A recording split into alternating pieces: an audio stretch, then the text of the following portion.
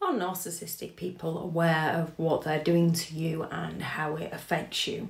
On some level, all narcissistic people are aware, be it the malignant narcissist who is choosing to do things out of a conscious thought process and it's intentionally done, it's pre planned, it's pre motivated or whether it's the more fragile narcissist that's working through instinct and their subconscious mind, and it's just a learned pattern of behavior as to what works for them, what gets them through life, whether it's the victim narcissist whose identity is around being the victim in the story and gaining that sympathetic attention, or the grandiose narcissist where they are looking to be the hero in the story and get the attention in that way.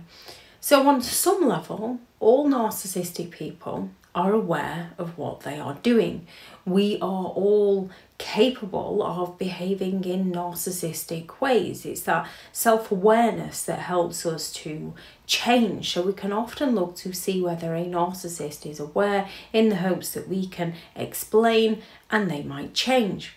However, with a narcissistic person, it doesn't work that way. Whether they are aware or not, they lack the empathy to care for how their behaviour affects you or those around you. They just fear exposure, which is why they gaslight and fail to give any form of closure, which is why they manipulate and do all they can to get away with their behaviour because they don't want to be exposed. They feel entitled to behave in the manners that they do, and they are just looking for ways to get away with their behaviour. They're looking for the bare minimal damage to themselves, and they often justify their behaviour in that sort of self righteous way where they believe they're doing the world a favour, where they believe that you deserve to be punished in some way. They rewrite the story in their own head, they rewrite the narrative to make out within themselves that there is no wrong within their behaviour, which is often why they are so convincing in the lies that they tell to those around them because they believe within themselves that they're not the issue. It's everybody else that's the issue. They genuinely think that the world should revolve around them.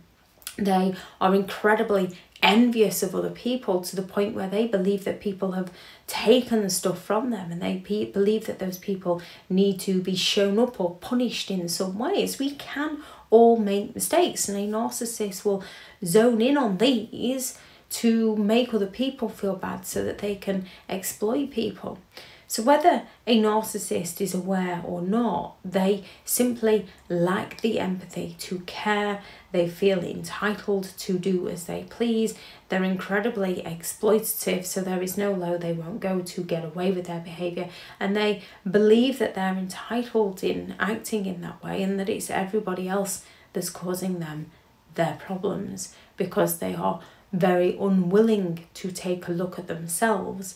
Instead, they point out all the flaws, failings, mistakes in those around them. They shame and humiliate and blame those around them so that they can feel better about themselves and so they can take the spotlight away from their own negative behaviour by shining it on somebody else.